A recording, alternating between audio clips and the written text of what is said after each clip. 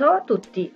In questi giorni mi sto portando avanti con i regali di Natale e sto preparando la mostarda di cotogne. Portate pazienza perché è una ricetta facile ma che richiede qualche giorno di attesa per essere completata. E in via del tutto eccezionale sarete felici di potervi avvalere della forza bruta di un uomo in cucina per tagliare le cotogne a pezzi. E in un secondo momento vi sarà d'aiuto anche una buona affettatrice. Oggi sono al secondo giorno di lavorazione, restate quindi sintonizzati che manca poco, buona domenica a tutti, ciao!